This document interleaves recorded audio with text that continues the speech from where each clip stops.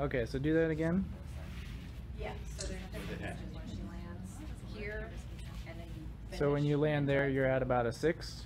So, but it depends on the pitch. And then what was the other one? Like this? And then some of them she comes all the way through. And that's also a six? It was like seven. Seven. Okay. All right, thank you. So how's that feel now? That's better. What would you rate it? Like a two? How about the other one? The pitching stance? so that's How's that feel? so it doesn't hurt. Still doesn't hurt. Uh, How would you rate it though? It was a six Like when you a- got started. Went from a six to a zero? Or like a one? Like the one. Probably one. Nice. You think you can play tonight? Yeah. Awesome.